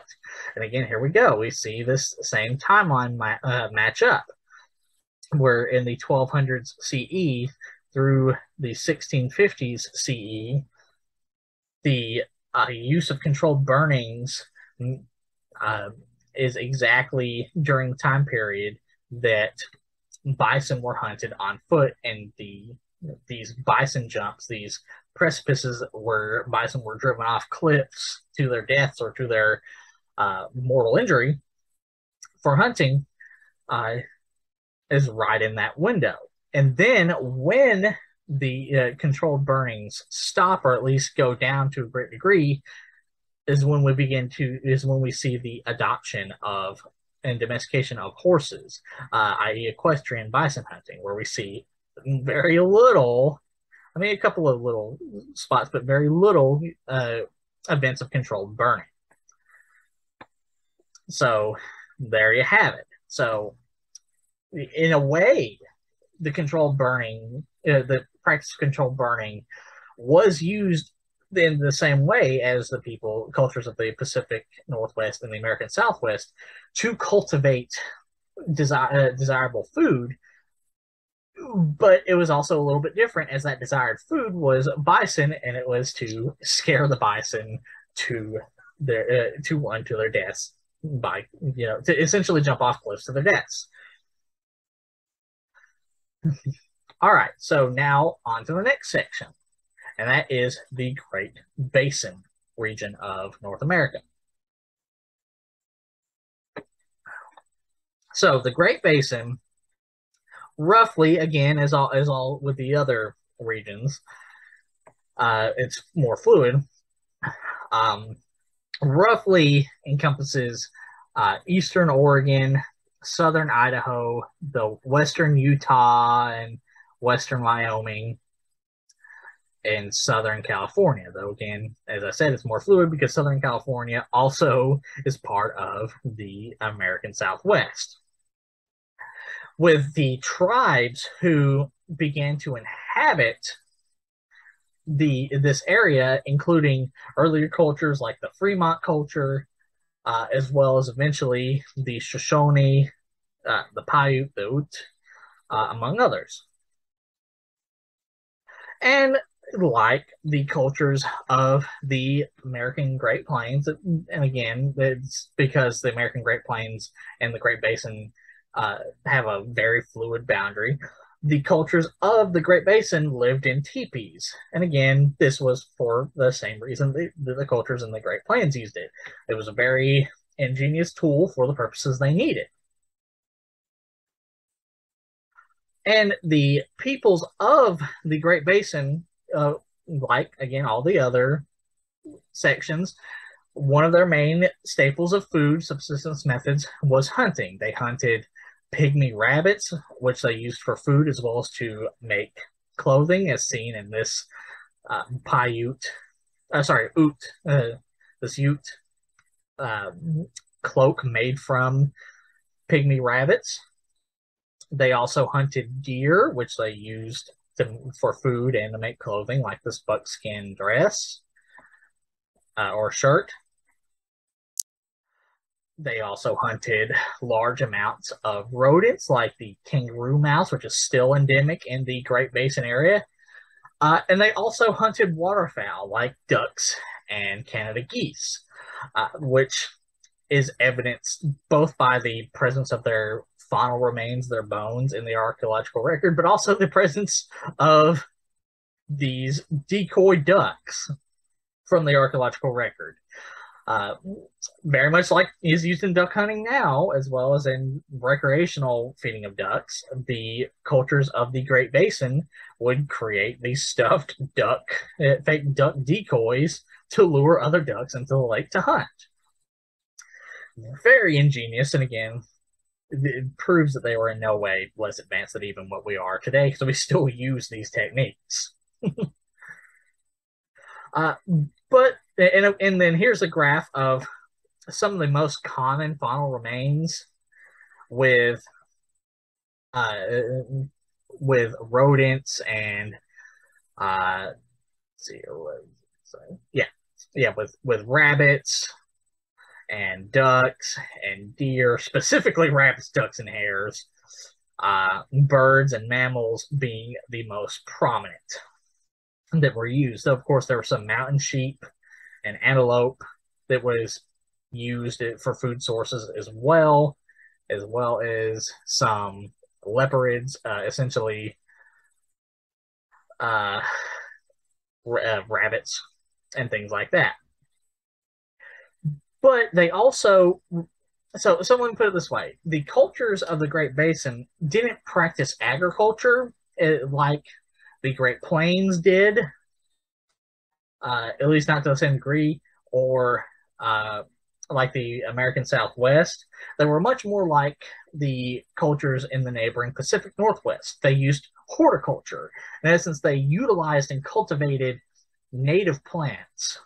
And so they one some of these included uh, amaranth and saltbrush, which can be used for food and medicinal purposes, uh, shad scale and seepweed, uh, as well as others such as spurge uh, and sedge and barnyard grass, which with seepweed, uh, with plants such as seepweed uh, and sedge uh, being used for medicinal purposes. And in fact, as you can see, shad scale and amaranth seem to have been among the most important ones that were used. In fact, amaranth seems to have been cultivated to a very high degree. Sorry, let me correct myself. I just said that they didn't use maize uh, in agriculture. They did. Uh, they very much did. I, I apologize. I had it, it slipped my mind, but we do actually have evidence that they at least at least subsisted off of maize, as we can see in these burned kernels. In fact, as we can see here, we can see sort of the cob length and diameter of what they used. Uh, meaning that they did actually, whether they grew it themselves or traded with, again, the nearby American Southwestern cultures, they did utilize corn and maize. And then, like the cultures of the American Southwest uh, and the Great Plains, eventually the horse was introduced and domesticated by the Ute and Paiute and other tribal peoples of the Great Basin, which they used like the cultures of the American Southwest and the Great Plains for hunting and warfare and to great use developed their own large herds and uh, their own large herds of horses. In fact, the Paiute and the Ute were specifically known for their very desired breeds of horse.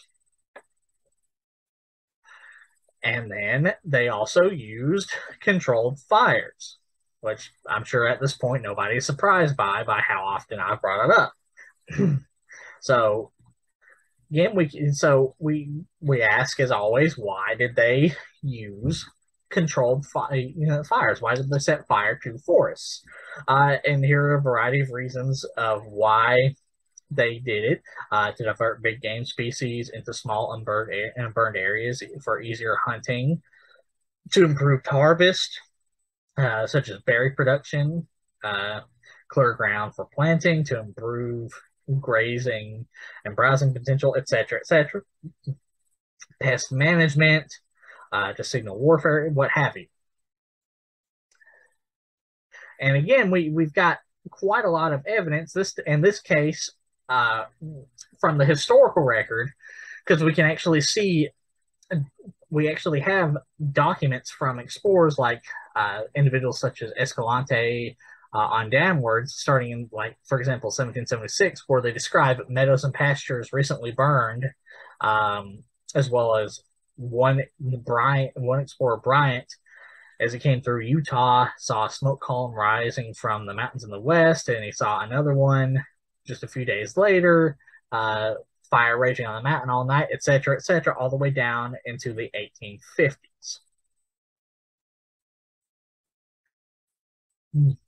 So. So, in essence, we have we know why they use the fire for the variety of uses to divert, uh, divert game and control pests and, very, and various other things. And we know that they did this for a very long time based off of the historical record. Um, we have a very long record of this. now we move on to the next section Alaska and the Arctic. So, the uh, for the purposes of this video, I'm going to include the Arctic, uh, the two different, dis- very distinctual regions of the Arctic. Uh, the subarctic, which, as I said in the Great Plains video, uh, overlaps with the Great Plains. In fact, the Cree were both an Arctic and a Great Plains people, uh, are both an Arctic and Great Plains people because they still exist. uh, and then we have the Arctic, which roughly, sorry, so let me go back. The subarctic goes from central Canada up into the eastern part of Alaska. And then the Arctic is from northern Canada, uh, around southern, really most of Greenland, and northern, western, and southern Alaska, as you can see here.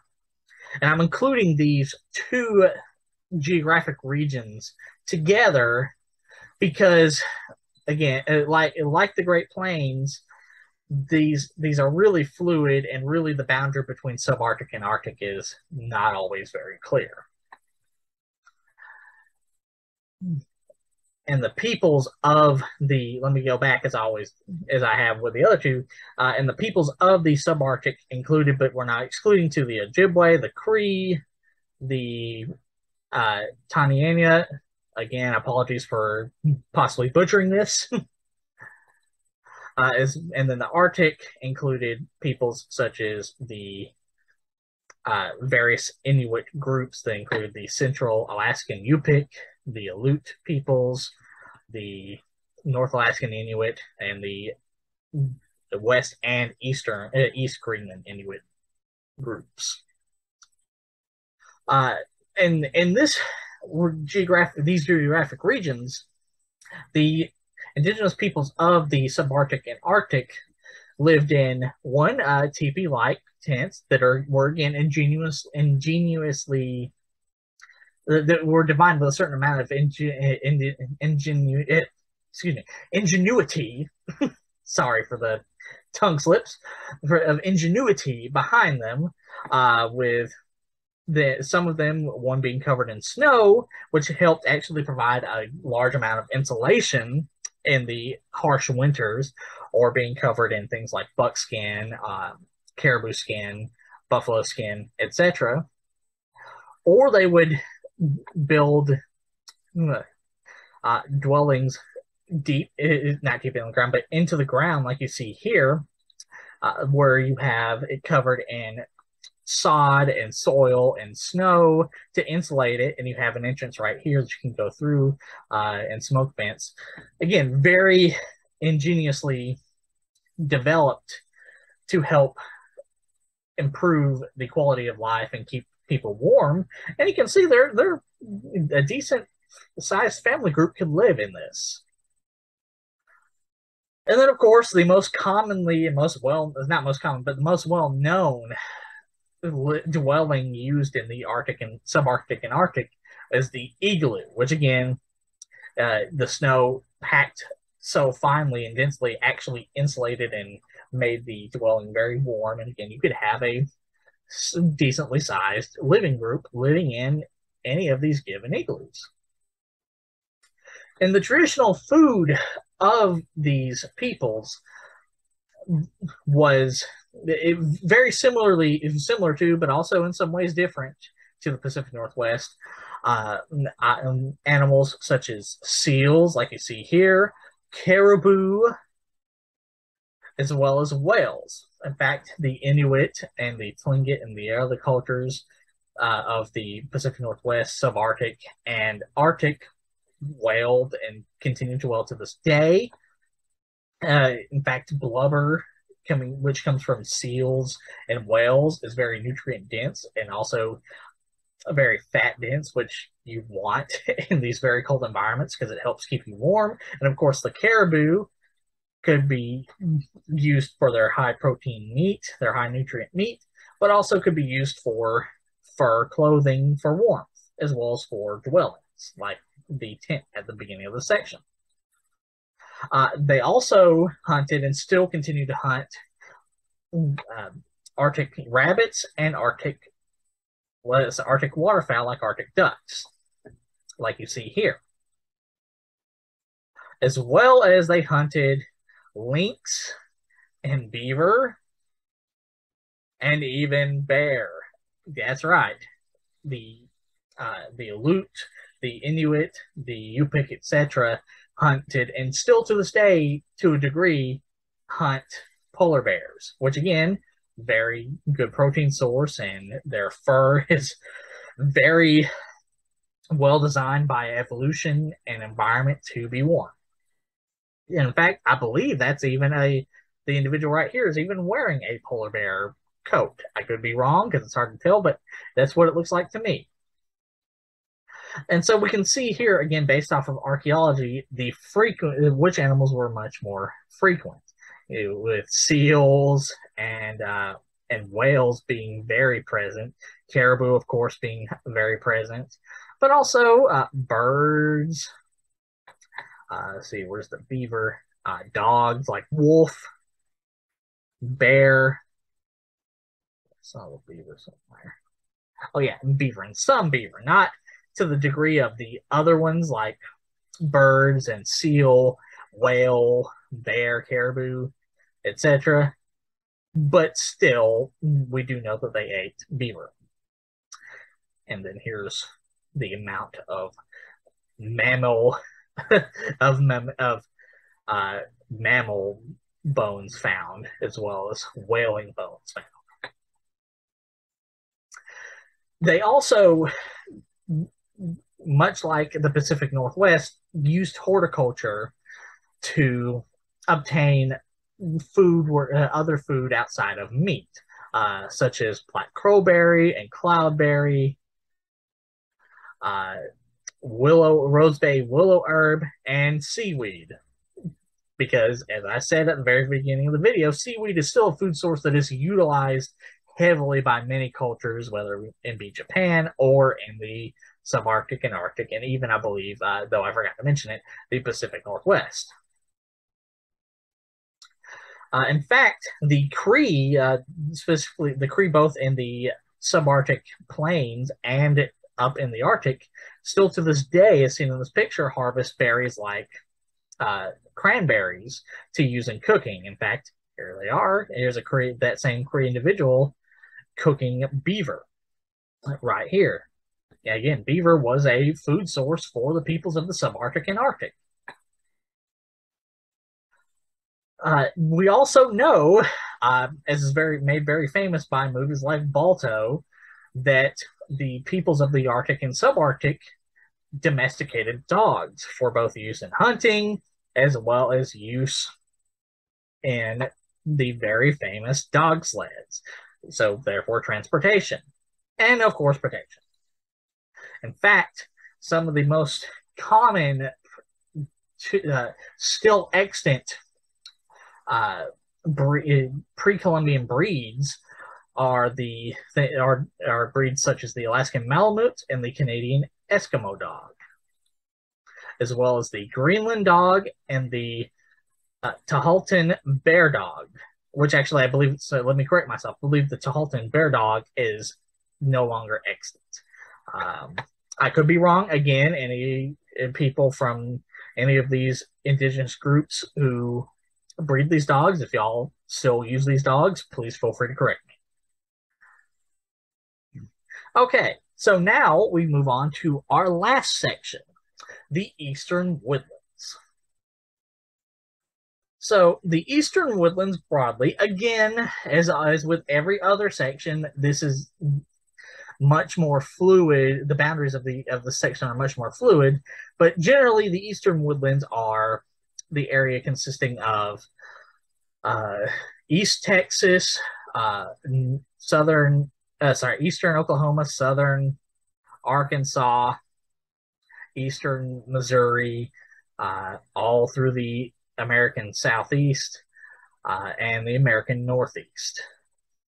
And the tribes that inhabited these regions, for example, in the American Southeast, included people, uh, tribes such as the Cherokee, the Yamasee, the, Hitti- uh, the the Muskogee, more commonly known as the Creek, the Apalachee, uh, and in the Northeast, the various tribes that resided here and still reside here uh, in some degree included the Sauk and Fox, uh, the Ojibwe, the Ottawa, the various tribes that make up the Haudenosaunee Confederacy, more commonly known as the Iroquois, but again, more, as always, the more properly known uh, Haudenosaunee, which were the Seneca, Cayuga, Onondaga, Oneida, Mohawk, and also a little bit the Mohican, uh, the Powhatan tribe, etc.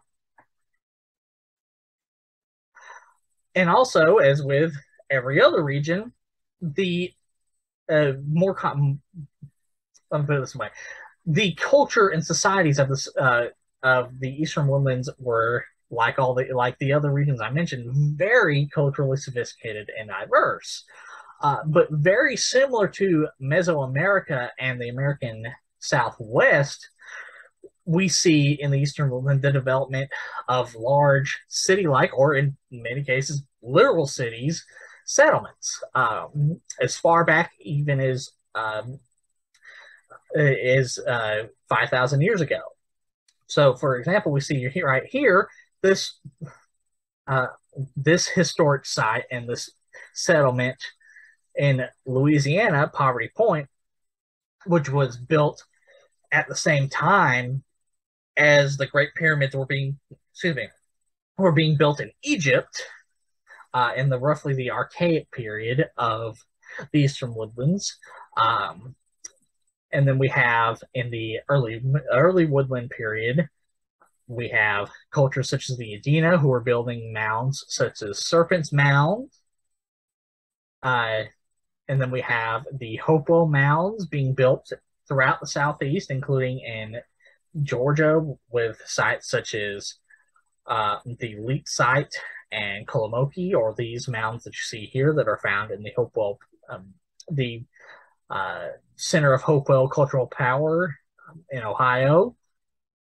And then, of course, the very well known Mississippian cultures, where we see who built large cities such as Cahokia, which was the New York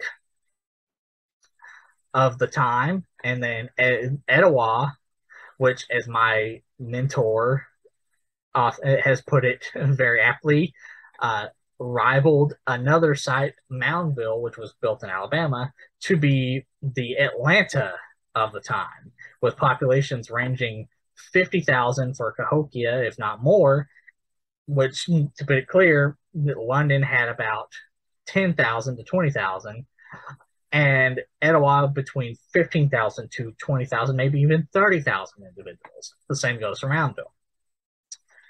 So, with that, we have to ask, you know, with these large political entities, with these large political centers, what was the food they used?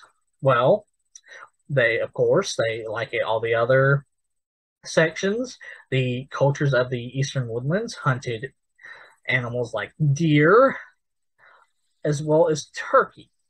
And in fact, in the case of turkey, we have a lot of evidence showing that to a certain degree, turkey and deer as well were cultivated.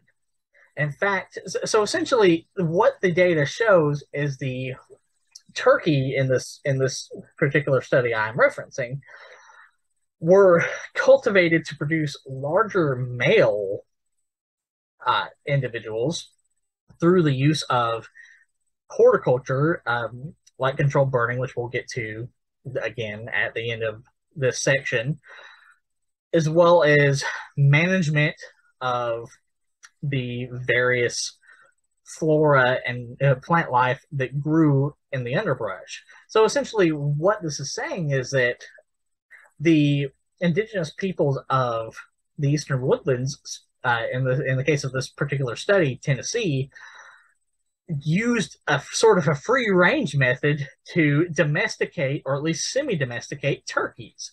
because turkeys are other than birds of prey like hawks and eagles uh, and and other birds such as ravens are one of the few birds that are depicted in eastern woodland artwork on on pottery and such showing how significant they are. And then along with that the presence of turkey bones in the archaeological con archaeological excuse me archaeological record is second only to deer meaning that turkey and deer were the two most utilized animal food sources of the eastern woodlands.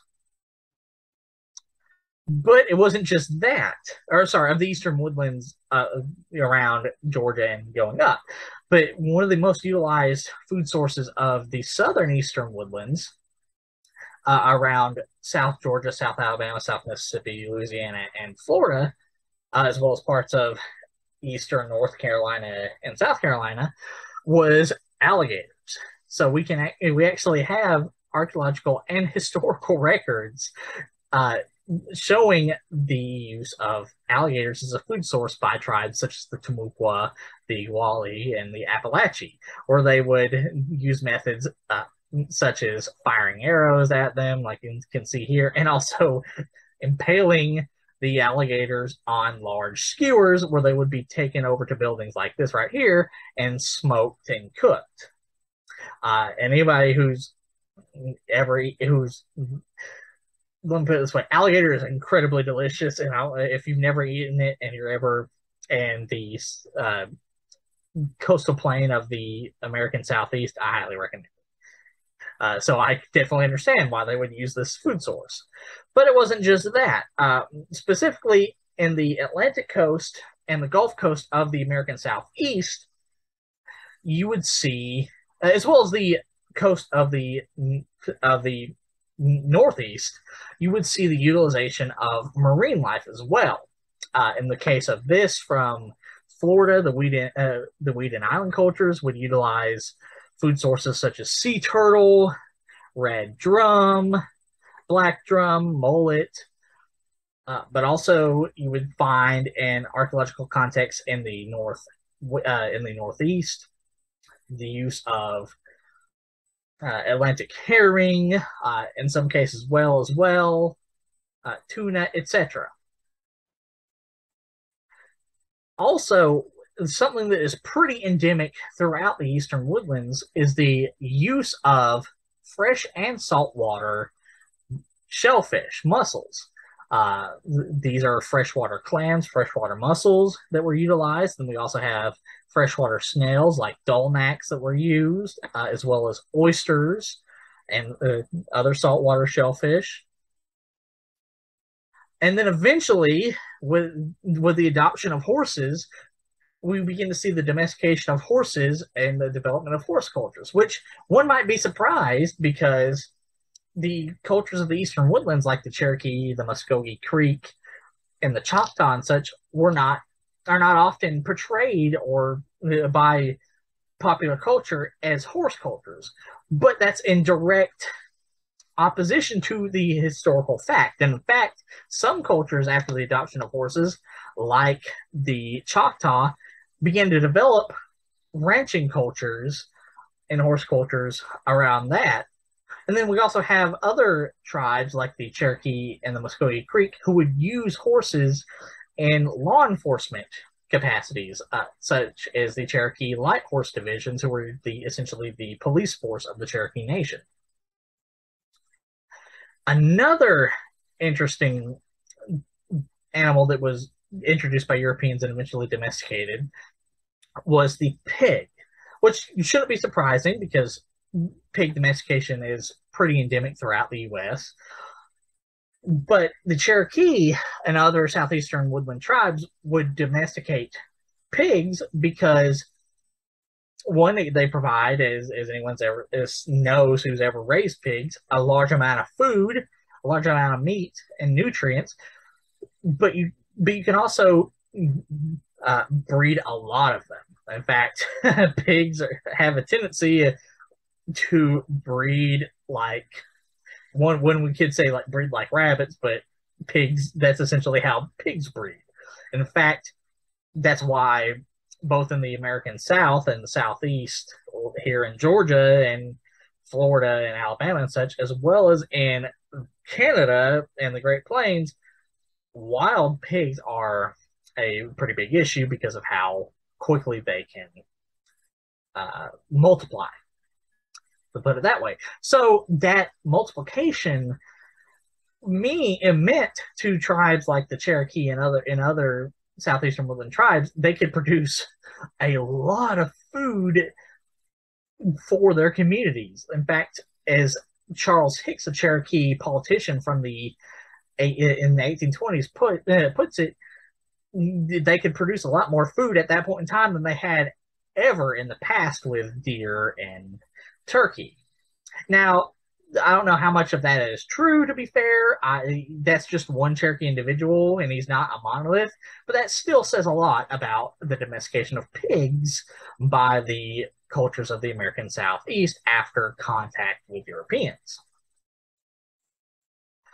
And here we go here with one of those graphs based off of archaeology, uh, off of a couple of sites in Tennessee, showing their the Eastern Woodlands tribes' use of that primary forest efficiency that I mentioned, which to go back over, essentially primary forest efficiency is that utilization of horticulture to control the food sources of your region to give you more, uh, not only larger amounts of food, but more desirable amounts of food uh, through either the turkey domestication of free range or the control use of controlled fire, what have you.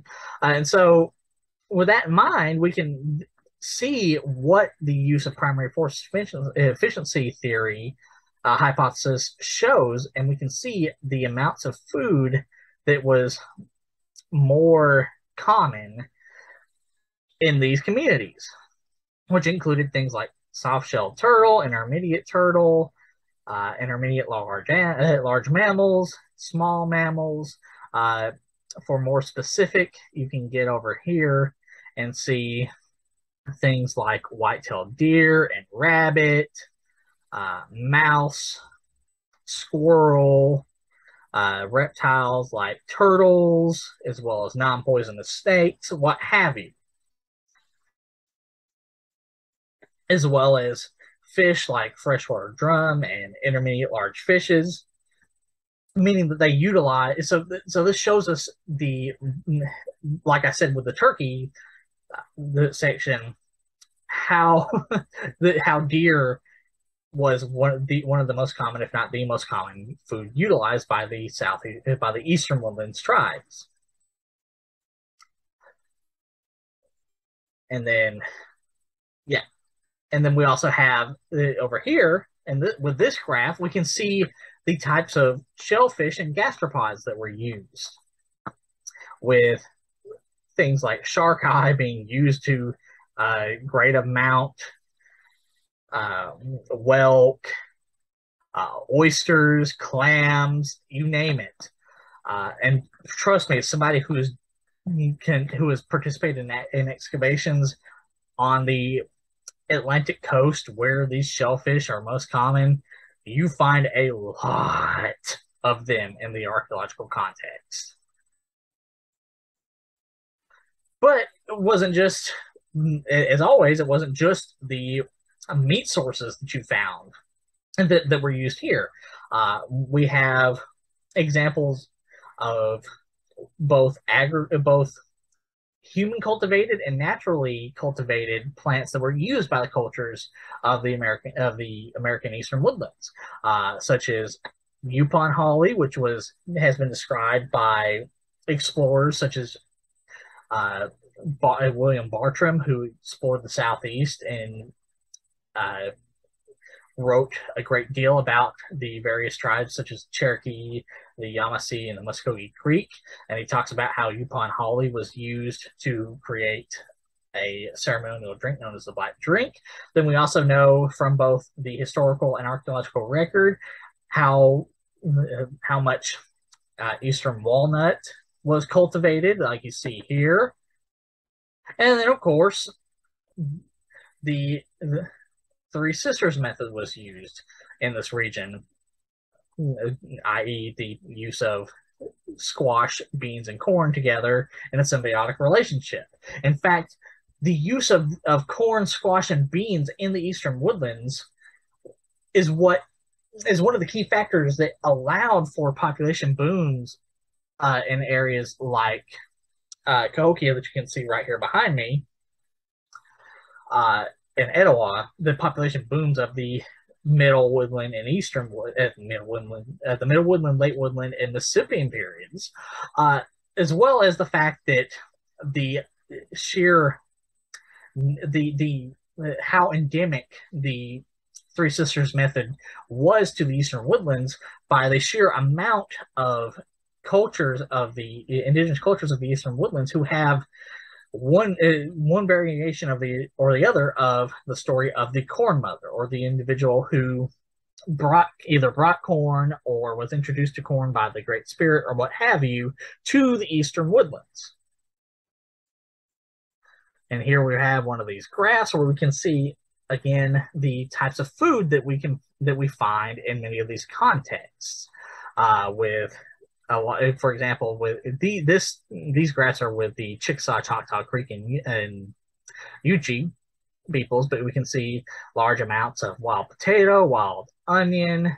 Uh, in some groups, some groups used um, groundnut and sassafras, large amounts of of wild strawberries, mulberries, blackberries, huckleberries, wild grapes, crab apples, walnut, chestnut, hickory, uh, of course, mussels, turtle eggs, etc. And you can see just the sheer amount of animals they would use. They would also use techniques for catching fish, such as uh, using devil's shoestring, Carolina moonseed, buckeye, uh, walnut, etc., to poison a fish, to catch fish uh, using po- these poisonous fruits and nuts, as well as, of course, bows and arrows, hand nets, spears, etc. And here's another continuation of the graph with mammals showing again the predominance of animal like white-tailed de- white-tailed deer uh, and wild turkey. And of course, we come back like with every other section, the use of controlled burns to can, to cultivate and control food sources as well as to control the severity of fires. Because in fact, the how to put this, in fact, the def the term that I defined at the beginning of the video, primary forest efficiency, includes the use of controlled burns in its de uh, definition. And so with this, you can how we tell can tell that the tribes of the eastern woodlands used controlled burns to to their benefit is again with the archaeobotanical and archaeological and paleobotanical data.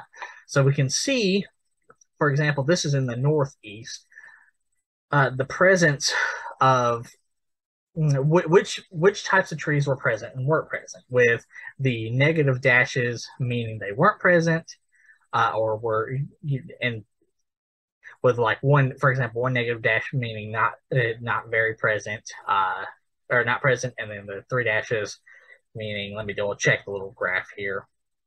Uh, indicates so it's like yeah yeah it indicates just how unimportant or how unpresent these trees were. Uh, and the same goes for the positive dashes, uh, the positive marks, you know, with one positive mark meaning it was present, and then the more positive marks meaning it was very present. You know, like present, mm, present to a decent degree, incredibly present, like white oak. And this, we can see the same thing with the presence of like what types of trees were present at the time as well by the fact of how pyrophobic they are, how fire tolerant uh, that they were. Uh, in essence, all of these trees are very pyrophobic, uh, and we can see them in their pollen representation, with the most common pollen representative in the archaeobotanical record being those like oak, pine, and birch, as well as elm. And a lot of these have to do with as well how shade tolerant they are as well, with for example, birch being shade intolerant, but also oak being uh, intermediate. So in essence, these trees are intolerant to the shade, so they need more sunlight to grow. So, i.e., controlled burn come in, burn off all the underbrush and all the cover that is preventing these trees from growing. And that's why we see more of them present, as well as the fact that they were much more fire and drought tolerant.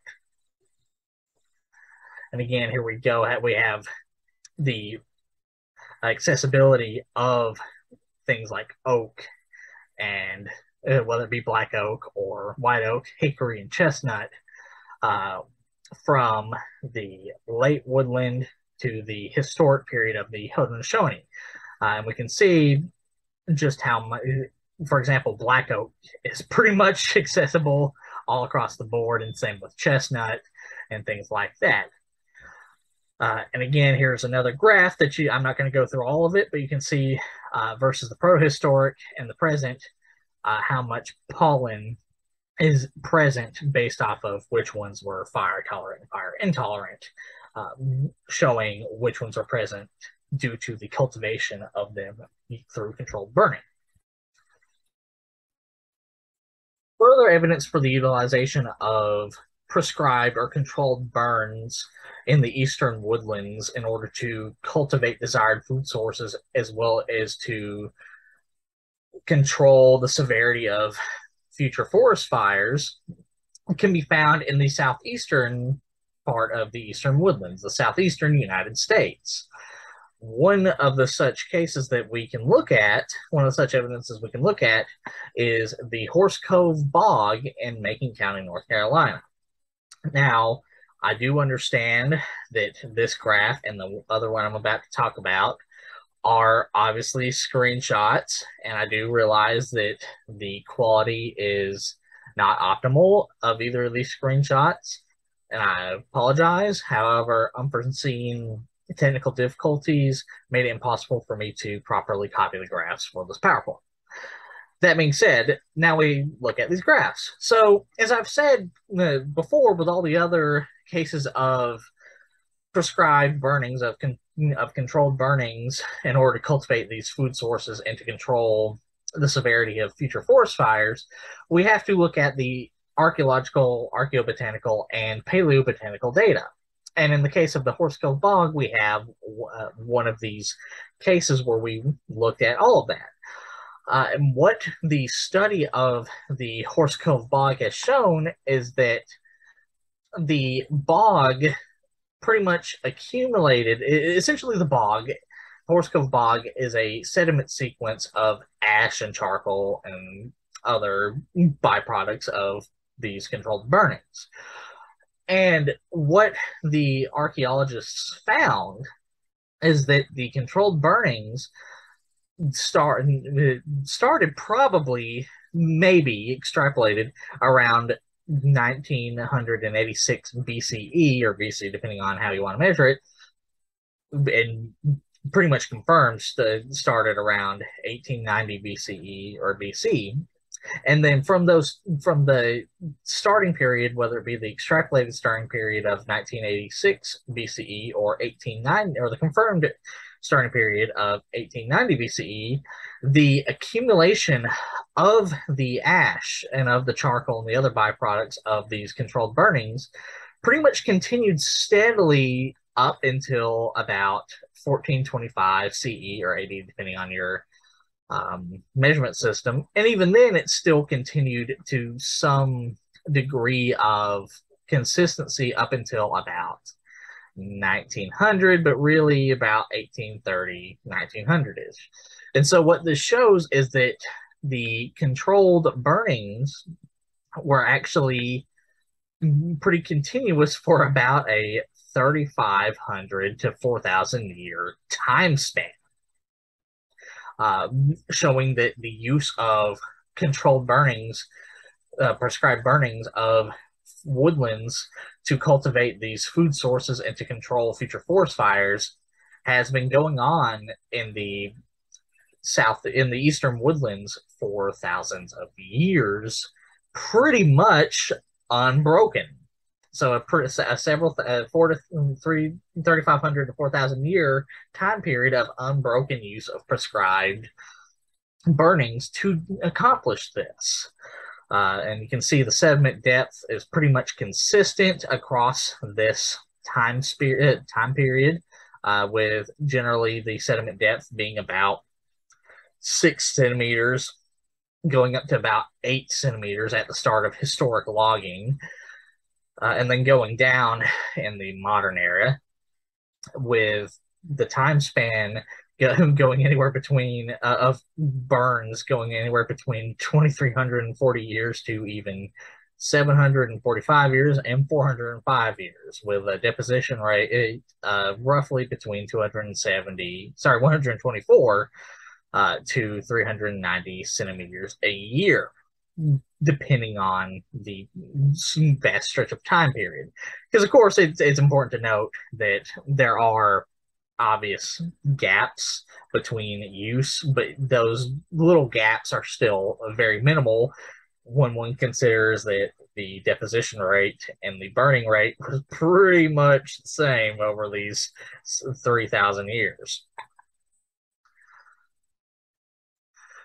And using the this archaeobotanical data, looking at the ash, we can see you look at the pollen counts as well and see based off of these pollen counts which trees were more common, which trees were essentially uh, endemic during this time period. And as you can see, the tree that is most common in, in, the southeastern United States, as well as as we talked about earlier in the northeastern United States, uh, northeastern woodlands, uh, is oak. So oak, both in the northeastern and southeastern woodlands, is pretty much uniform. Uh, oak pollen is pretty much uniform throughout this time period. Again, that has a lot to do with the fact that oak is a pretty pyrophobic, uh, essentially fire tolerant, drought tolerant tree. Uh, and then also during this time period, though not quite as consistent uh, but still fairly consistent. You see chestnut, which again is a not only a fairly fire resistant tree, not as fire resistant as oak, but still, uh, but is also it's one of these trees where whose seeds often rely on heat in order to germinate and bloom. The same can be said for pine because many pine cone, uh, many pine species, the pine cones require that as well and then you can see all the other trees that are very much less common than the three most common trees pine uh, oak chestnut and pine all of which are pretty fire resistant as well as some fire resistant to a certain degree grasses birch etc and then other pollen counts being minimal like in maize which of course is not fire resistant at all. I'm sorry I've never heard of anything or seen anything of corn being able to be resistant to fire, and you can see generally that with the majority of this. So this, like with the pollen counts and the uh, and the frequency of the various types of trees in the northeastern United States tells us what trees and plants the indigenous uh, the indigenous peoples of the southeastern United States were trying to control for and through their prescribed burnings. Okay, so with that, that ends the video. Uh, I know it was a very long video, to say the least, but I hope you enjoyed it. I hope you learned something from it. And if you want to see me cover any of these regions or any of these subjects in more depth in later videos, uh, or you just simply have questions about the video overall, please feel free to leave a comment in the comment section and feel free to please feel free to like, share, and subscribe. And I hope you all have a good day.